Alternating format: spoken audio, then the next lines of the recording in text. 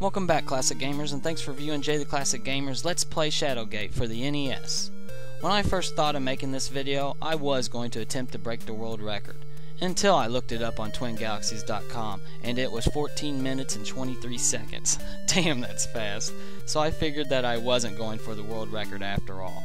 But that I'll do the best that I can. So let's get started and I hope you enjoy Shadowgate. The story of the game is simple. The dreaded Warlock Lord is trying to summon the Behemoth that will destroy all mankind.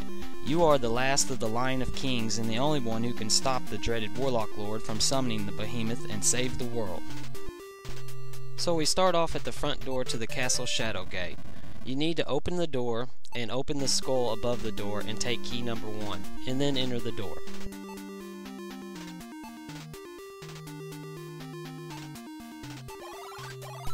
In this room, the dreaded Warlock Lord taunts you and calls you a buffoon. Ignore this prick, and take the two torches and use key number one on the middle door and enter that door.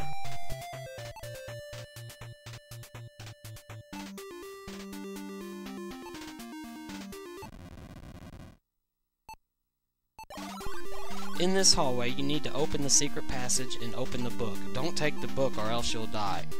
Take key number 2 from inside the book and make sure you take these torches. One of them is a special torch. And go back to the previous room.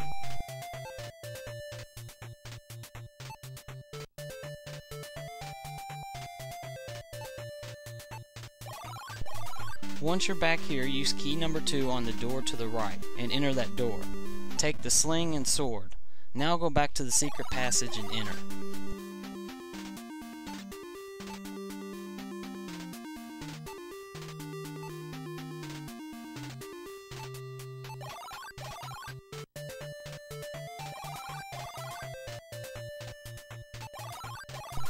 In this room you need to take the arrow on the wall and use the torch on the left to open a secret door. Enter that door.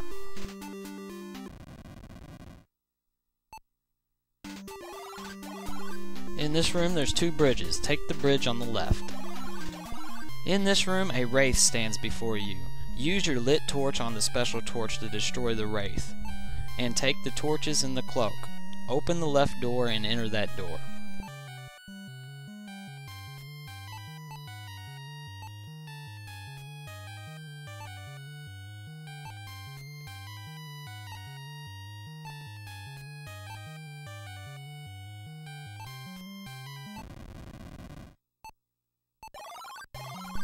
In this room, look at the Epor sign twice to learn the magic spell Epor. Then take bottled number 2 and the torch, and use your new magic spell Epor to make the rope climb up through the hole in the ceiling so you can climb up.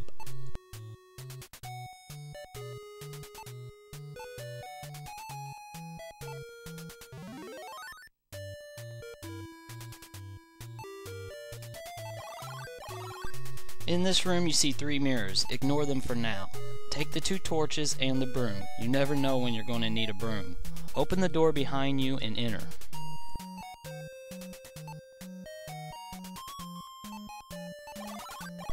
In this room you see a bunch of coffins. Open the door behind you and the lower right coffin to reveal a mummy. Use your lit torch to burn the mummy and take the scepter. Then enter the door behind you.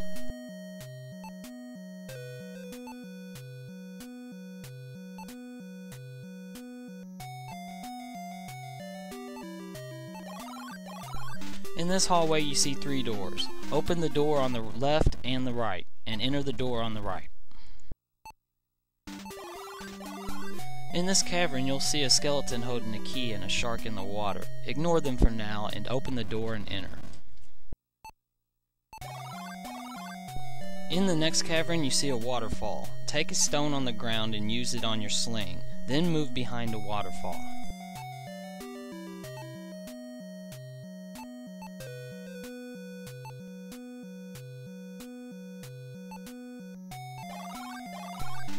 Now that you're behind the waterfall, hit the rock as hard as you can to reveal a bag. Open the bag and take the three gems inside. Now head back to the hallway.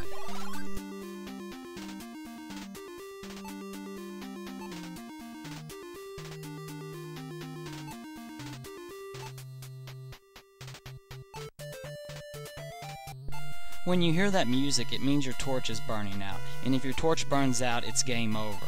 So it's time to light up a new one.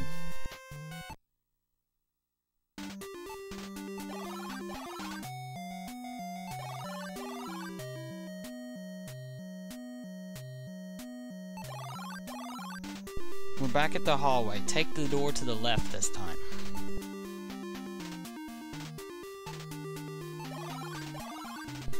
In this room you need to use the white gem in the socket on the wall to reveal the sphere. Take the two torches in the sphere and open the door and enter.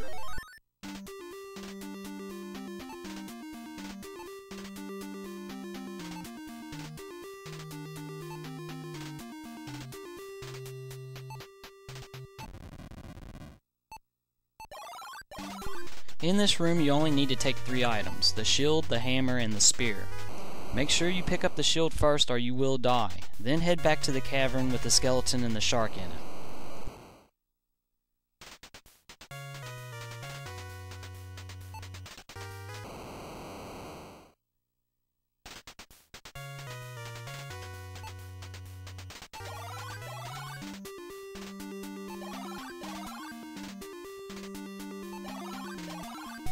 Once you're back here, use the sphere on the water, then use your lit torch on the ice. Then take the sphere and key number 3 and head back to the room with the three mirrors in it.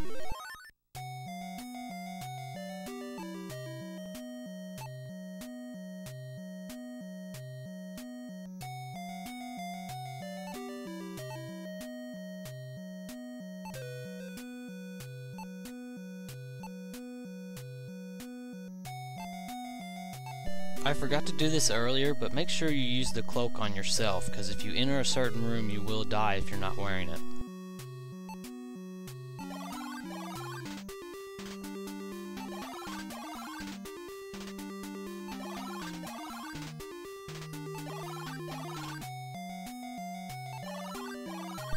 Once you're back here, use the hammer on the middle mirror. Then use key number 3 to open the door, and enter.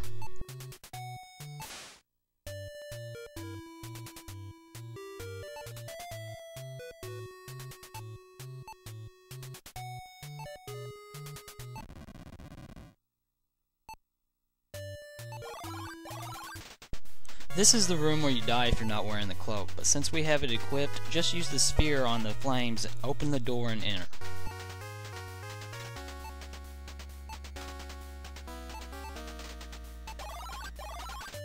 In this cavern you see a bridge, then a nasty troll appears demanding a gold coin. But since we don't have any gold coins, I wonder if he'll take a spear to the head instead. I guess so. Now enter the next room. In this room you see a Mino Cyclops ready for battle. Use your sling with the stone in it and knock him out. Then use your sword on him to finish him off for good. Then use the crank on the well to reveal a bucket. Open the door and open the bucket and take the gauntlet, and enter the next room.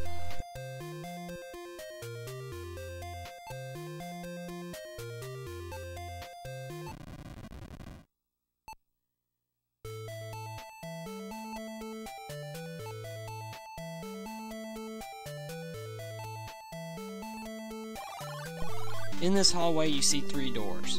I'm going to go ahead and use the gauntlet on myself, you'll have to do it eventually anyway, and then enter the first door on the left.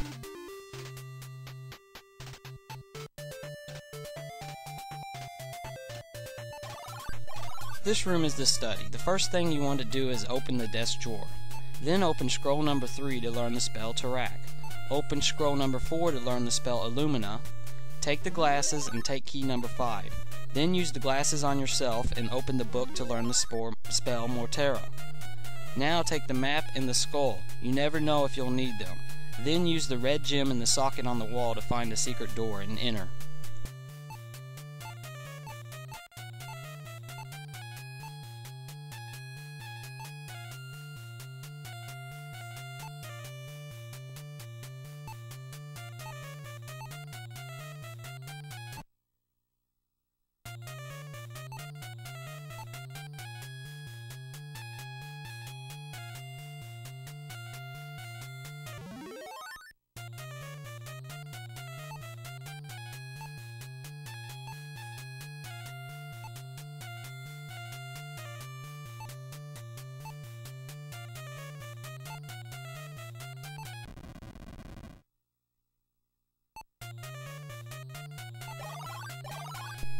When you enter this room, use the spell Terrak to crack open the globe.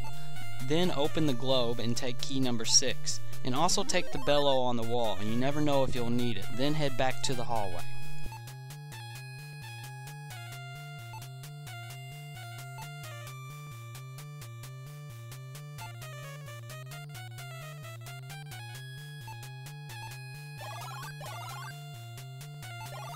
Now that we're back in the hallway, take the second door on the left.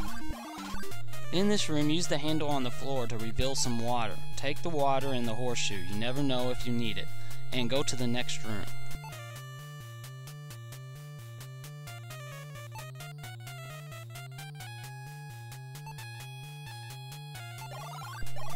This is the garden. You need to take the flute, but make sure you have the gauntlet on or you will die. Then use the flute to reveal a ring, and take the ring, and then head back to the hallway.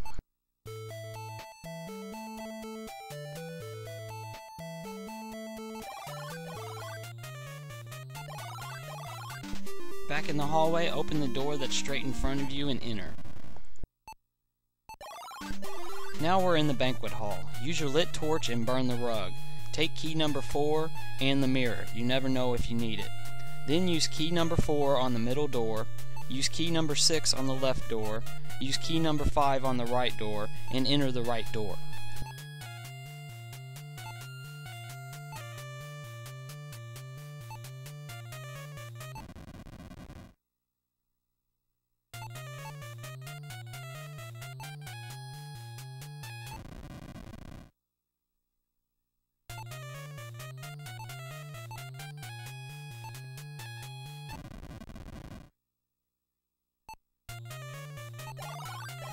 In this room, a Sphinx stands before you. You have to answer his riddle before you can pass. The answer will be one of six items the broom, the map, the skull, the horseshoe, the bellow, or the mirror. The answer to the question this time is the mirror, so use the mirror on the Sphinx and go to the next room. Now we're in the observatory. Open the star map and take the star and the rod, and then go up the ladder to the next room.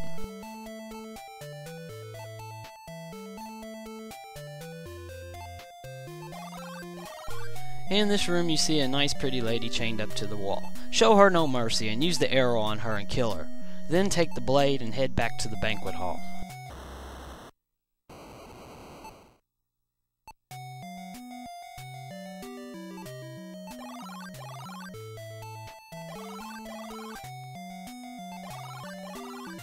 Back in the banquet hall, take the middle door this time. In this hallway you see two doors. Take the door on the left. Now we're on the balcony. Use the rod on the hoe to reveal the wand. Take the wand and move to the left on the balcony.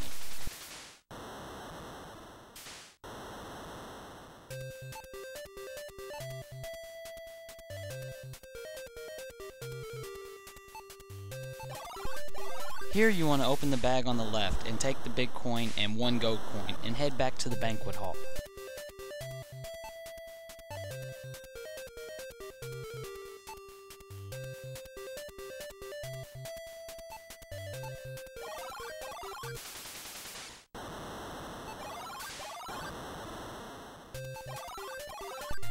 Back at the banquet hall. Now we want to take the door to the left.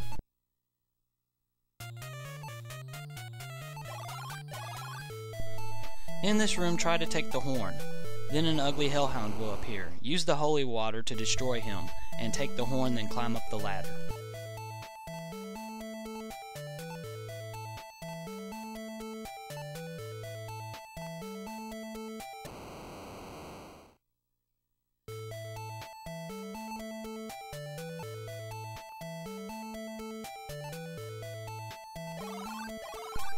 On this balcony, you are confronted by an evil wyvern. Use the star on him to destroy him, and then take the talisman, and head all the way back to the cavern that has the two bridges.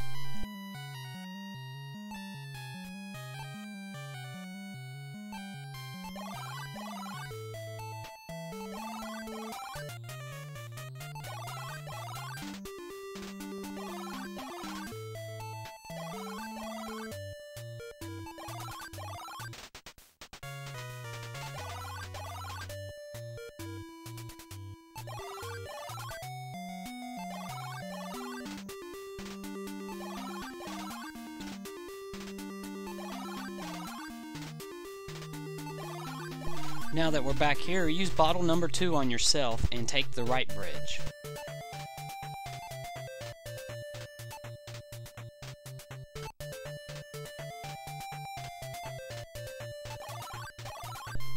Now we're confronted by a terrible snake. Just use the wand on him and he'll turn into a staff. Take the staff and head back to the Epor room.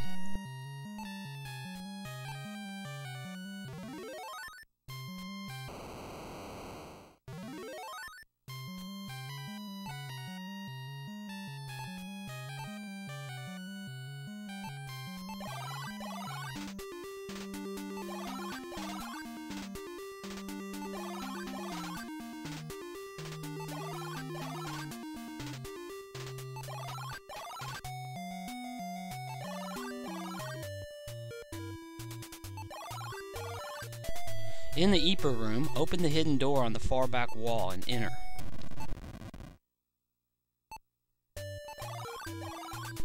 In this room, use the blue gem in the socket on the floor. A wizard will appear and give you a scroll. Open the scroll to learn the spell Humana, then head back to the banquet hall.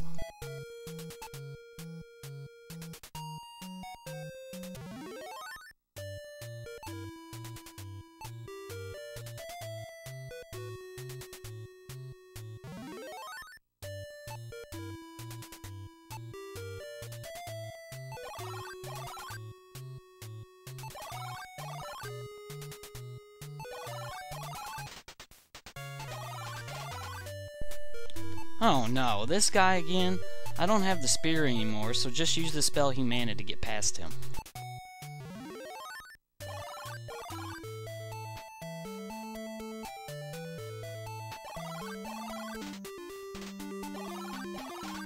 Back at the banquet hall, go through the middle door. In this hallway, go through the door on the right. In this room, you see a skeleton with a crown on its head. Use the scepter on the skeleton's hand, and a ring slot will appear. Use the ring in the ring slot and enter the next room.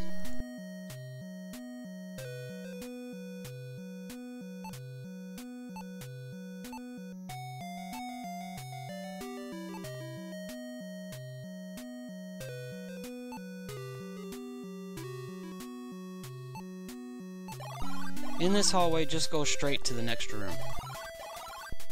In this cavern, you see two gargoyles. Use the spell Illumina to blind them and go to the room to the right.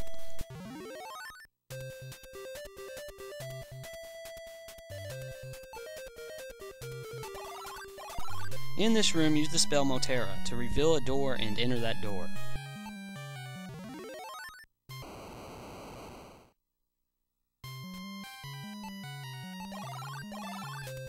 In this cavern, use the switch box on the right. Move the right switch down, move the middle switch down, and then move the right switch back up to reveal the orb. Take the orb and head back to the gargoyle room.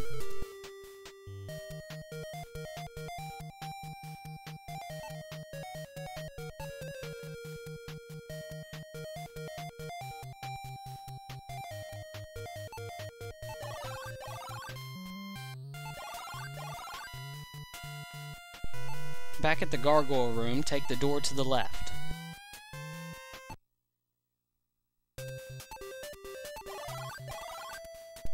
In this room you will see a huge well. Use the crank to open the well, then use the big coin in the well, and enter the well.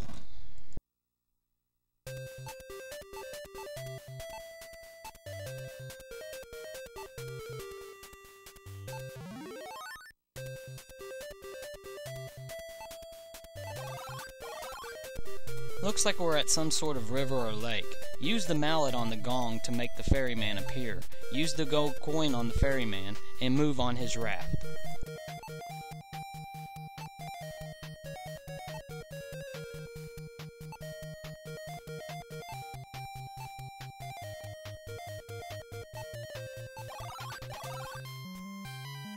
We're getting close to the dreaded Warlock Lord.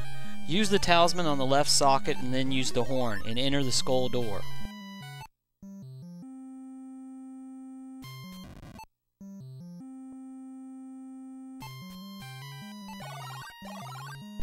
Now we finally come face to face with the dreaded Warlock Lord and the Behemoth.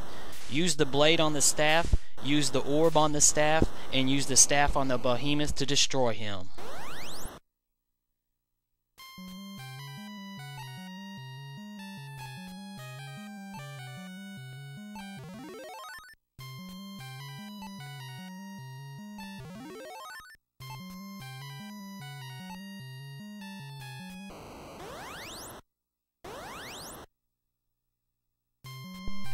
Behemoth's about to die, he takes the dreaded Warlock Lord with him.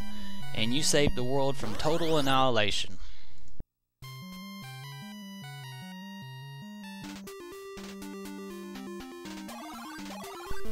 It wasn't a world record, but I did beat the game in under 20 minutes, which is pretty good. And that would be good for 4th place. I really don't see where I could shave off 5 minutes in this game. It's a very hard game when you're trying to move as fast as you can. So this concludes Jay the Classic Gamers Let's Play Shadowgate for the NES. I hope you've enjoyed. I want to thank you again for watching and thanks again for the support.